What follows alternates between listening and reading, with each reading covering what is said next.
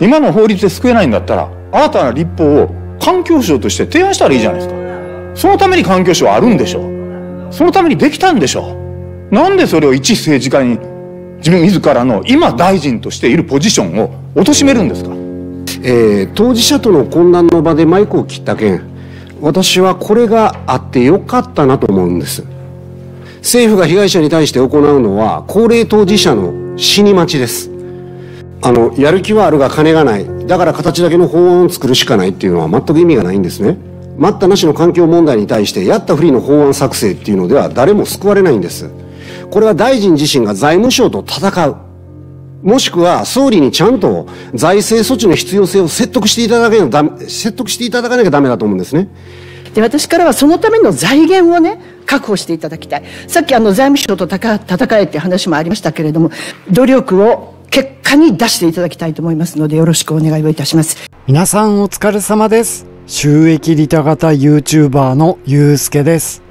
今回は5月9日の環境委員会の質疑に立ってくださった山本太郎さんをご紹介したいんですけど2日前の参考人質疑を見たり環境問題に詳しい方からいただいたコメントのおかげで事前の予備知識なしで見るより話に入っていきやすくなった気がしております。いつも教養がない僕にいろんな知識を与えてくださって本当にありがとうございます。で、今回も参考人質疑の時と同じ資源環境促進のための再資源化事業等の高度化に関する法案っていうテーマのもとに審議が行われたんですけどあちこちでニュースになっていた通り伊藤大臣率いる環境省が水俣病犠牲者の慰霊式でのマイクオフ事件があったその出来事の後の最初の環境委員会っていうこともあってどの質疑者も維新の梅村瑞穂さんでさえも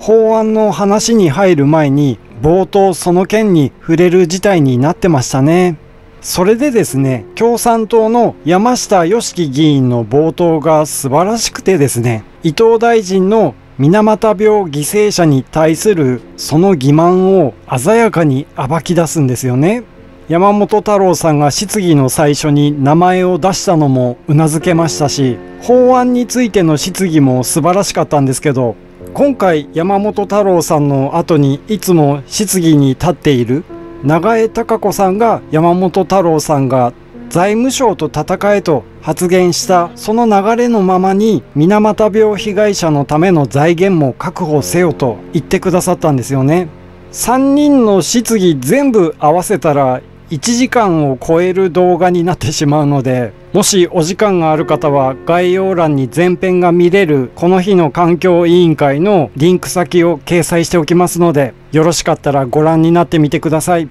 で今回のこの動画に関しては山下さんの冒頭と山本太郎さんの質疑全体と長江貴子さんの冒頭をご紹介させていただきます。で今回の山本太郎さんの質疑を最も短くまとめるならこういうことだよなっていう絶妙なポストをしてくださったのが三好亮さんで資源循環法案が目指す太陽光パネルのリサイクル高度化。再資源高度化を本当に目指すならば政府は使用済み太陽光パネルの年間排出量や今後必要となるリサイクル施設数等を把握し必要な予算を試算したはず。その資産すら行わない本法案はやったふりと言われても仕方ありません。ということで、だからこそ政府が予算をつけてお金を出すしかありませんし、それをやらない政治を変えるためには権力を奪うしかないんですけど、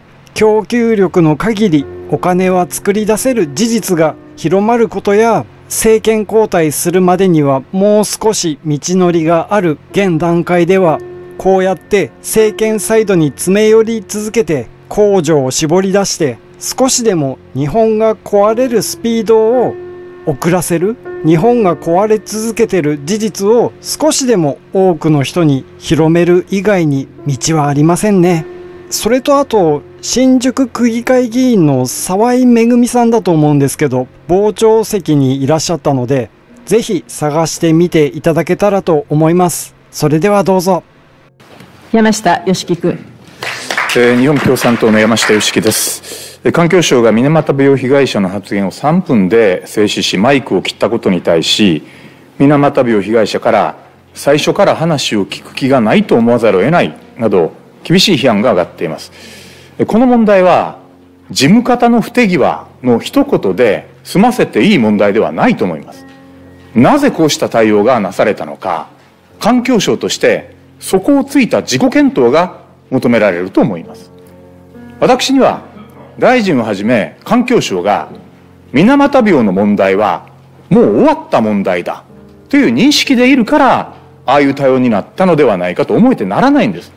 そうでなければあんな対応はできないはずです。伊藤環境大臣水俣病は終わった問題と思っているのではありませんか？そのようには思っておりません。水俣病は終わった問題とは思っていないということでした。そこで確認しますが伊藤環境大臣が水俣病は終わった問題と思っていないという意味は水俣病の公式確認から68年経った今も水俣病に罹患しながら行政から水俣病と認められずに苦しんでいる患者が多数存在している。だから水俣病問題は終わっていない。ということでいいですね。行政から水俣病と認められてない多くの方がいらっしゃることもあります。そしてまたあの認められていても水俣病の病状で苦しんでいる方もいらっしゃいます。そしてまたそのことによって水俣市をはじめとして地域に生まれたいろいろな課題もあります、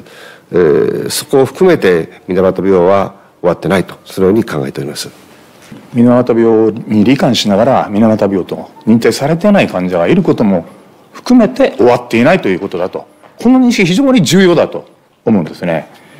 ならば昨年来大阪地裁熊本地裁新潟地裁と原告の水俣病罹患原告の水俣病罹患を認める判決が相次ぎました。水俣病は終わっていないと大臣おっしゃるんだったらこうした水俣病に罹患しながら行政に水俣病として認められていない苦しんでいる多数の患者を救済することこそ私は環境省の使命だと思います。環境省ができたのは原点は水俣病であります。大臣まずは環境省がですね被害者団体と向き合って問題解決のための話し合いのテーブルにつくべきではありませんか？あのご指摘のように今なお裁判をあの継続してまた裁判を行う方がいらっしゃると訴訟を行う方がいらっしゃるということは大変重く受け止めております。あのまあ、一方で今ご指摘のようにあのいくつかの裁判のあの結果が出てそれぞれあの違うものもありますけれどもあの控訴が行われていることでございます。あの水俣病についてはあの公害健康被害保障法に基づいて3000人が認定を受けて保障を受けられるとともにこれまで平成7年平成21年の2度にわたり議員立法で、まあ、政治救済が図られてございます。あの特に平成21年の水俣病被害者特措法は超党派の議員立法により地域における紛争を終結させ水俣病問題の最終解決を図ることを目指したものでございまして、まあ、これらの政治救済に合わせて5万人以上が、えー、救済対象となってございます。あの環境省としてはこうした水俣病問題の歴史と経緯を十分に踏まえつつ、引き続き現行の公害健康被害保障法、また特措法の丁寧な運用、まあ、医療、福祉の充実や地域の再生、融和、振興などにしっかり取り組んでいくことが重要であるというふうに考えてございます。後ろから出た官僚が書いたメモを見るとね、さっきの大臣の答弁から今の答弁交代したんですよ。特措法だとか、公権法だとか、で、救済された方はいますよ。しかし、水俣病の患者は20万人とも、40数万人とも言われてる。実はわからないんですよ。なぜなら健康調査、疫学調査、やられてないからなんですよ。そうする、それをやる責任を国が果たしてないからなんですよ。だから、大臣がおっしゃったように水俣病に罹患しながら水俣病と認められていない行政によってそういう患者が多数苦しんでいるわけですだから終わってないと大臣おっしゃっただったらその漏れた人をどう解決するのかが環境行政の原点に立脚した一番の使命だと思うんですがもう後ろいいですよいいです大臣大臣の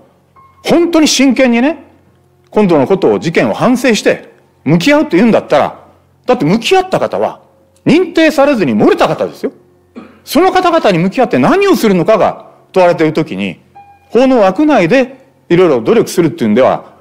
あの救済できないじゃないですか。だからどうやったら救済になるのかを患者団体もいろんな知恵持ってますよ。環境大臣環境省と患者団体が同じテーブルでね話し合ってどうすれば解決できるのか。裁判をこれ以上重ねていったらもう多くの方は残念ながら亡くなる方に亡くなるでしょう。それ待っていいのかということがもう求められてるんですね。だから私は話し合いのテーブルに解決のための話し合いのテーブルについてほしい。これは患者団体の弁護団の一番の要求ですよ。これやることが私は今回の事件の反省をやっぱりしているっていう証になると思うんですがいかがですか？あの委員ご指摘重く受け止めております、まあ、そこも含めてあのもう一度懇談会を開く予定でございますしもちろん懇談会だけで解決できるわけでありますので話し合いの場あのいろんなレベルであのたくさん開催できるように私もあの支持したいと思います。えー、そしてやっぱり行政府の立場から言えばですねあのあくまで現行法制の中で最大限何ができるかということを考えるということしか言えないわけでその現行法制の適用の在り方あるいは現行法制に基づいて作られているいろいろな仕組みがありますから、まあ、この中であのどうやったらより多く救済できるかこれも進めてまいりたいと思います。あのすでにその指示は出しているところでございます。ただその法律そのものを変えろという話になりますとこれはあの大臣の職責をちょっと超えることでございますので立法府であの進めるしかないんだろうと思います。ありがとうございます。山下良樹君、ね、最後のことが引っかかってるんですよ。先ほどからね法律の枠内で頑張ると。しかしそこから漏れた人をどう救うのかは立法府の問題だと。一政治家として頑張ると。そんなことないですよ。今の法律で救えないんだったら新たな立法を環境省として提案したらいいじゃないですか。そのために環境省はあるんでしょう。そのためにできたんでしょう。なんでそれを一政治家に自分自らの今大臣としているポジションを貶めるんですか大臣でしかできないポジションにあなたは立ってるんですよ。そのことを患者から求められてるんですよ。それをしないんだったら、私一政治家として頑張りますって言うんだったら、環境大臣として会う意味がないじゃないですか。環境大臣として法の枠で収まる、できないことがあるんだったら、新たな立法も提案する。我々立法府も、それ一生懸命吟味してより良いものにする。それが立法と行政の関係だと思いますよ。法律を作るのは国会議員だけじゃない。行政府がしっかり現実にを踏まえてですね、必要な法律を提案する。当たり前じゃないですか。そういう役割放棄しちゃダメだ。いかがですか委員のご指摘を踏まえて、あの、努力したいと思います。あの、今国会中になかなかすることは難しいと思いますけれども、あの、そのことも含めてできたい。ただ、あの、もともとはこれ、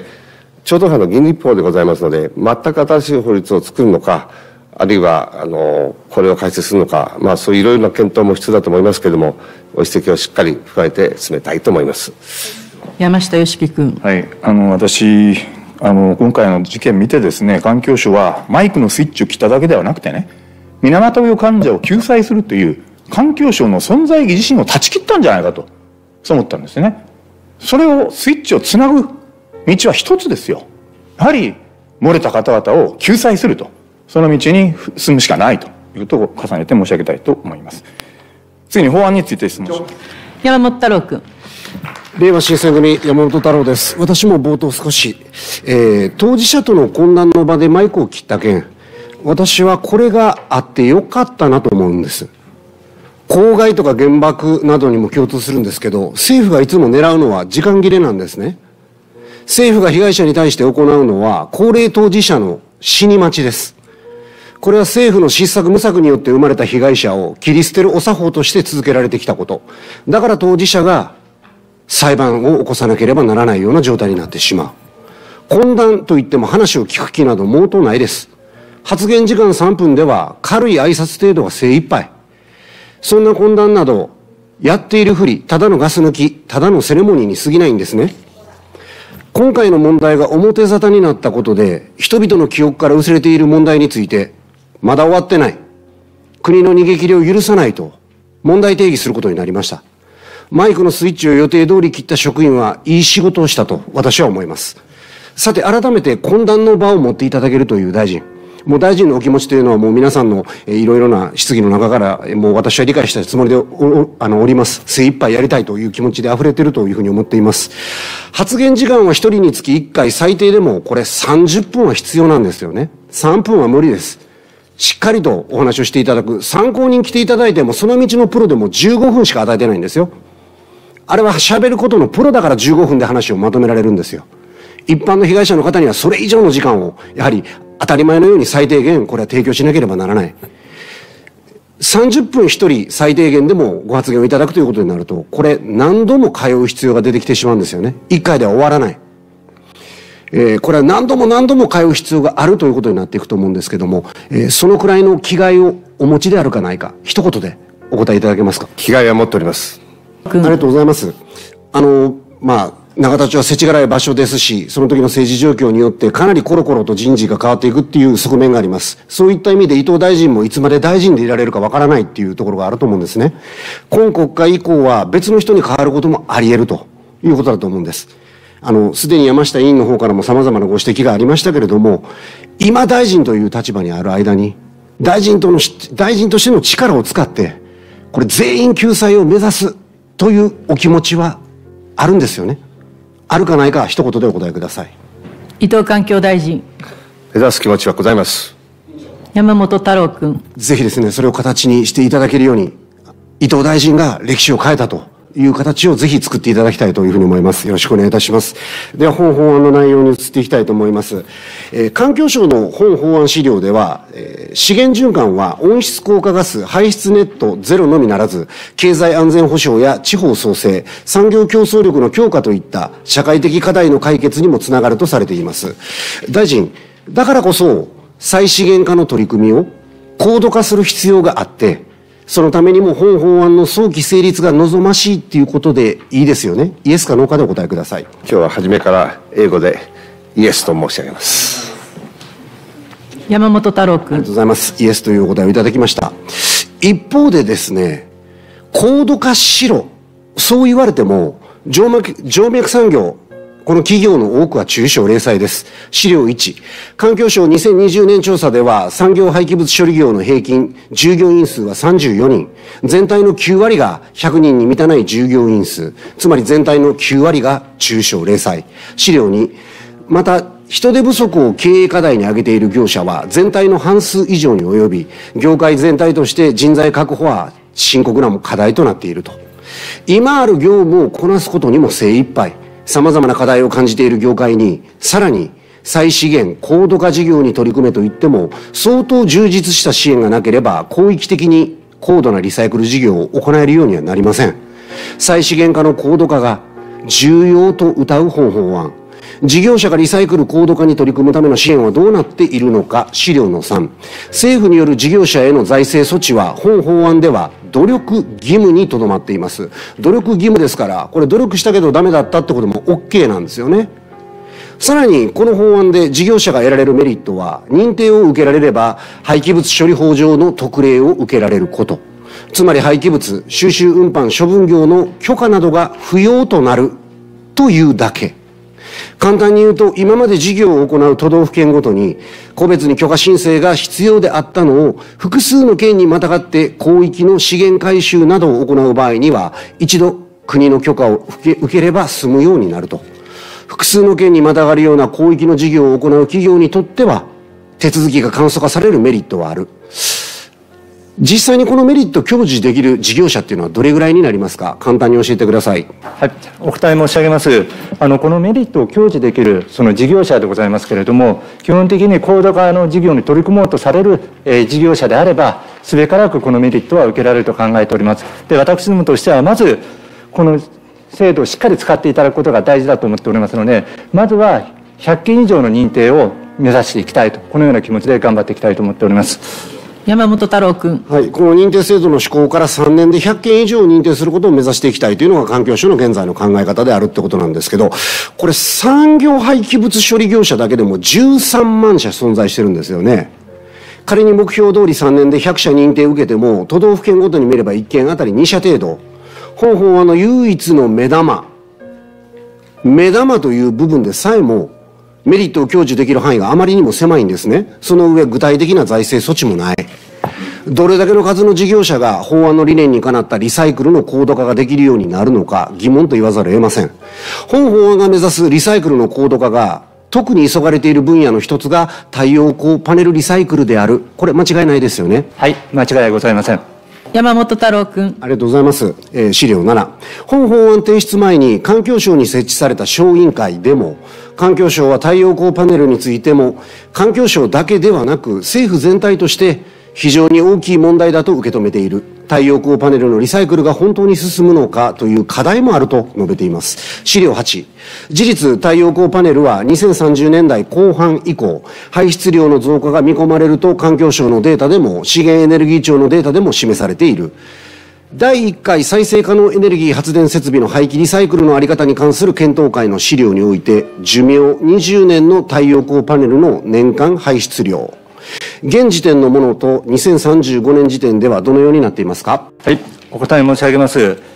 えー、寿寿命20年の太陽光パネルの年間排出量につきましては、2023年度は約2万トンでございます。で、2035年度の推計値は約77万トンでございます。はい。えー今後10年程度で使用済みの太陽光パネルは大量発生することが見込まれていると。それでは現状太陽光パネルのリサイクルはどの程度進んでいるでしょうか？使用済み太陽光パネルの年間全国総排出量とそのうちリサイクルされている割合を教えてください。はい。私どもで行っております調査は全数調査とはなっておりませんで、アンケート調査という形でさせていただいております。アンケート調査の結果でございますと、2021年度の実績で申し上げますと、回収量が2257トン、そのうちリサイクルに回っている量が2067トンと、こういう数字になってございます。年間のパネル総排出量もそのうちどれだけリサイクルされているかも把握していないんですよね。これでは正確な現実認識に基づく政策立案ってできないんじゃないですか？アンケート調査ではなくて、これはもう全量、全体的に把握するってことを一刻も早くやらなきゃいけないタイミングなんじゃないかと。えー資料9、23年7月、経産省、しえ資源エネルギー庁、及び環境省が開催した検討会で、長期安定電源推進協会が提出した資料によれば、実際、太陽光パネル廃棄時にリサイクルをお願いしている発電業者は27%。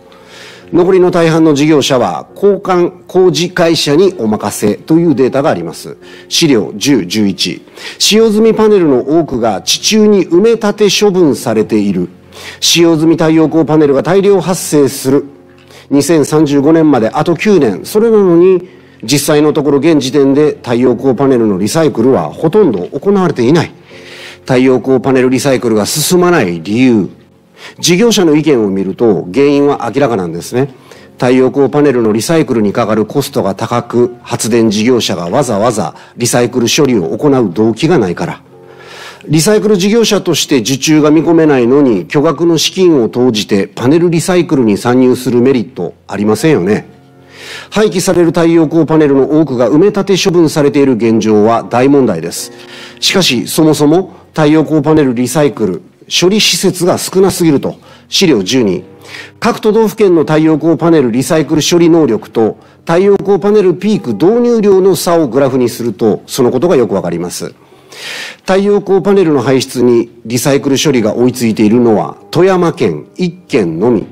残りの46都道府県はリサイクル処理能力が下回っています。それどころか半分以下の、うん、失礼。それどころか半分以上の地方自治体がリサイクル処理能力がゼロ。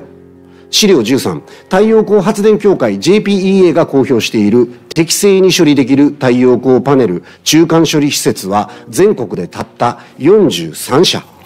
資料14、一つ一つの処理設備の処理能力から考えても、現在の数十倍の処理が必要になってくるとの指摘があります。資料15。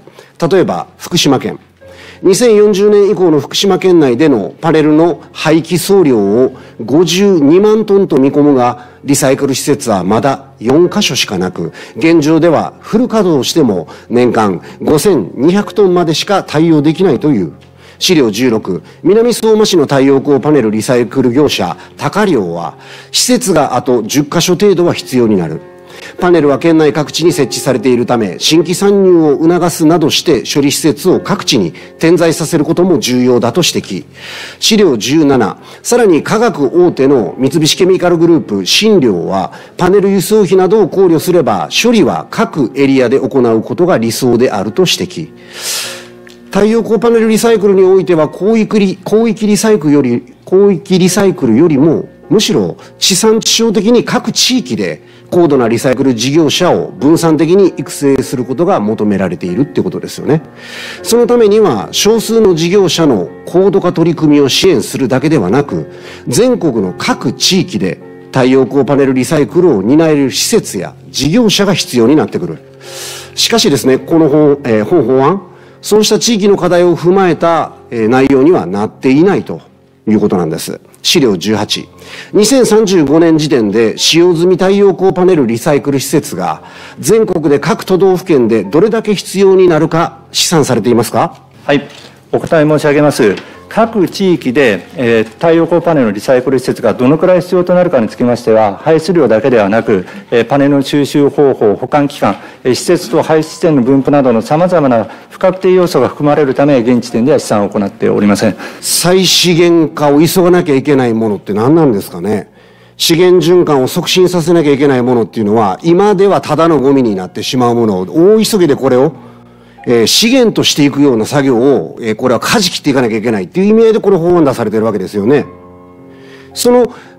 ある意味でゴミをゴミにしないためには、その一番これから社会問題としてでかくなっていくっていう太陽光パネル、ここに関してどうしていくのかってことを、やっぱり上に解いて考えていかなきゃいけない問題だと思うんです。けれども、使用済み太陽光パネルリサイクル施設がどれだけ必要になっていくかっていう、その試算さえも行っていないんですね。これでは必要な支援策やその規模を想定することできないんじゃないですか？太陽光パネルリサイクル、今後必ず求められるのだから、これ参入したいんだっていう事業者は少なからずいるんですね。けれども、ハードルが高い。資料19。例えば、近畿電電輸送リサイクル事業部岩崎市の指摘。太陽光パネルリサイクルのためには大規模な設備投資が必要でありながら、現時点でのリサイクル需要はそこまででもなく、収益予想が立てにくい。長期的な投資が必要だけれども、それだけの期間、体力が持たない会社も多い。岩崎氏は太陽光リサイクルが進まない要因として設備投資コストが大きいこと、収益の見通しが立てにくいことを指摘。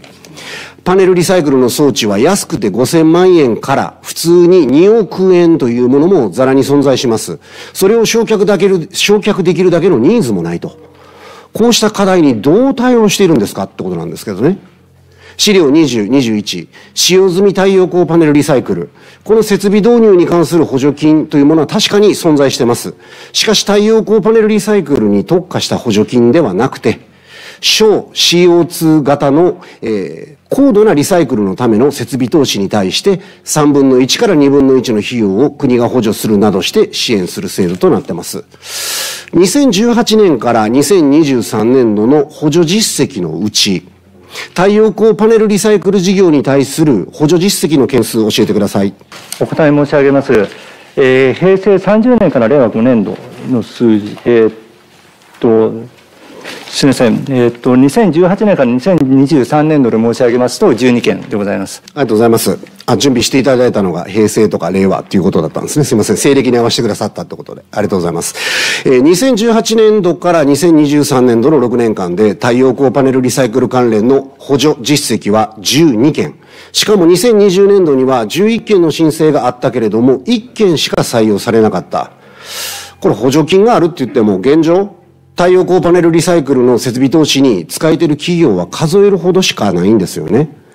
えさらにこれから太陽光パネルリサイクルに参入する企業にとっては申請のハードルが高く使いにくいことは衆議院環境委員会の産業、えー、参考人質疑でも指摘されています。もう一つ、リサイクル事業者が懸念しているのが、パネルリサイクルの収益性の問題。設備投資して高度なリサイクルを行ったとしても、十分な価格でリサイクルパネル購入してもらえるのかと。これ市場に任せるんじゃなくて、パネルリサイクル進めるために、リサイクルパネルの最低保証料金設定とか、公共調達の仕組みって必要なんじゃないですか？ってことだと思うんです。今、公共調達の仕組みってあるんですかね？で、今後導入に向けて検討されてますか？ない場合は。お答え申し上げます。え太陽光パネルをリサイクルしてできた再生材について公共調達の仕組みは今現在ございません。それはまだそれが一般的に広がっている段階ではないからでございます。いずれにしても太陽光パネルのリサイクルを進めることは大変重要な課題でございますので、そのための制度的な対応も含めてしっかり検討していきたいと考えております。未来系なんですよね。これから検討していきたいじゃなくて、もうすでに検討して、それが形になるところまで持っていかなきゃいけない状態であるということは間違いないと思うんですよ。ね、国が後押しするんだってことをはっきりと示していく。えー、収益性が見込めなければ巨額の設備投資が必要になる。リサイクル事業への参入も進まない。太陽光パネルリサイクル事業者の後押しをするためにも、リサイクルパネルの最低保証買取料金など、あらかじめ設定する必要、これありますよね。様々な現状、これ認識はしていると思うんですけれども、なぜ今回の法案で設備投資への支援というのを大拡充しなかったんですかってことなんですよ。待ったなしなんでしょ国策でやっていくんでしょ？世界との約束のためにも。それこそが日本の経済を支える源になっていくっていう立て付けじゃないですか？大臣、この法案で本当に太陽光パネル排出量のピークに対応できるだけのリサイクルの高度化ができていくというふうにお考えになりますか？いかがでしょう？あの、この法案、今皆さんにご審議いただいているわけでございますけれども、この法案をもとにですね、必要な予算を獲得していかなきゃならないと思いますし、えー、その上であの十分な太陽光リサイクル、太陽光発電のリサイクル進めていく必要があります。この太陽光発電のリサイクルについては私も、あの、委員と同じように問題意識を持っておりまして、そのお金の問題もありますし、そのガラスの部分と間に入っているセレン、鉛の分離っていうのはあんまり簡単じゃないですね。ただ最近の技術で、あの熱分解でできるようにあのなりつつあると聞いてありますのでその技術開発も含めてですねこの太陽光パネルのリサイクル事業環境省としても力を入れて予算獲得も頑張ってやってまいりたいと思います。あのやる気はあるが金がない。だから形だけの法案を作るしかないっていうのは全く意味がないんですね。待ったなしの環境問題に対してやったふりの法案作成っていうのでは誰も救われないんです。金をかけずに意気込みと民間の努力で何とかやる。それでできるんだったらとっくの昔にできてるはずなんですよ。だから今やろうとしてるわけですよね。それを何とかしようと。財政支援なし、もしくは極薄の支援でやれる話ではないんです。これね、あまりにも環境省が甘く見られすぎてるって話だと私は思うんですよ。ファッションとしての環境政策をやっているふり程度にやってればよいという考え方。おそらく政府自身が。だからこんな扱いになるんです。これは大臣自身が財務省と戦う。もしくは総理にちゃんと財政措置の必要性を説得していただけな、説得していただかなきゃダメだと思うんですね。これは、やはり何が必要かというと、重要な役割であるはずの環境省、その重要性を認識していないという、えー、総理に対して、世界との約束を様々果たすためには、圧倒的に予算が足りないことを直談判する必要があると思ってるんです。これはもう揺らさなきゃダメなんですよ。もう環境省のトップとして、世界との約束を守るために。これ、お願いがあるんですけれども、直談判ちゃんとしていただけますか？これ努力するとかそういうのはいらないです。総理に直接言うか言わないか。今このままでは手遅れになる。世界との約束も守れない。だからちゃんと予算をつけてもらわなきゃ困るんだということをしっかりと直談判して、それを勝ち取っていただきたいんです。いかがでしょう？あの、総理と直談判も含めて、あの、しっかりと総理に私たちの意思を伝えたいと思います。もうこの法案が出る前におそらくそれを終えてなきゃいけない作業だとは思うんですけれども、もうそれを諦めたら終わりですので、ぜひ、え力強くですね、予算を、え引っ張ってこれるように、えご努力いただきたいと思います。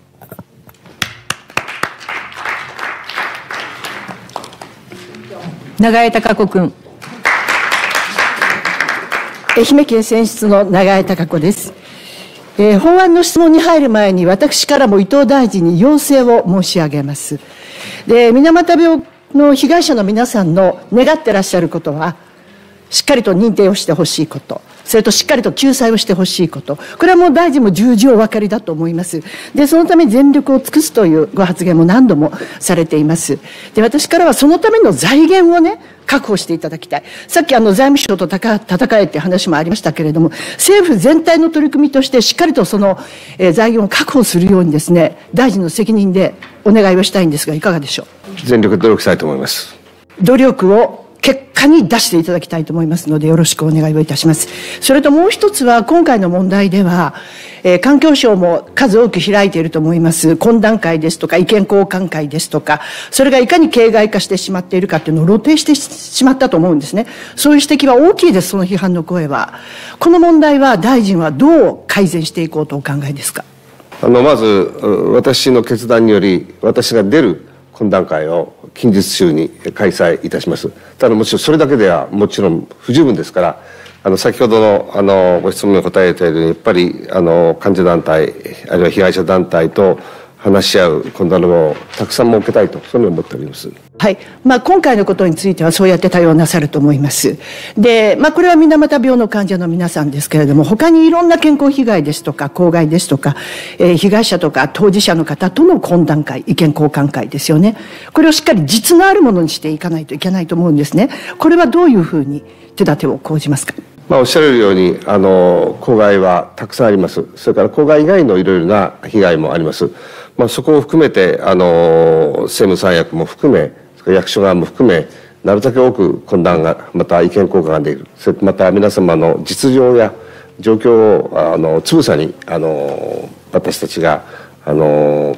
受け取れるようにしたいと、そういうふうに思います。はい。聞くだけでも困ると思うんですけれども、まずはですね、私はやっぱりちゃんと公開していただきたいと思うんです。えー、公開の原則が必要だなと思ってるんです。えー、で、えー、まあ、プライバシーの問題もありますので、えー、ここはあの、そのまま全面公開難しいという場合も多いと思います。その場合は、後からテキストでもいいので、しっかりどういう意見が出て、この意見に対しては政府はどう対応しようと思ってるかっていうこと付きでですね、しっかり情報公開を進めていただければと思っておりますが、大臣いかがでしょう？のできる限り委員のご指摘にお答えできるように努力いたします。はい、ぜひよろしくお願いをいたします。それでは法案の質問に入らせていただきます。えー、物を作るためには大量の天然資源必要となります。その消費スピードは自然が再生するスピードをおよそ1.75倍超えているんだそうですね。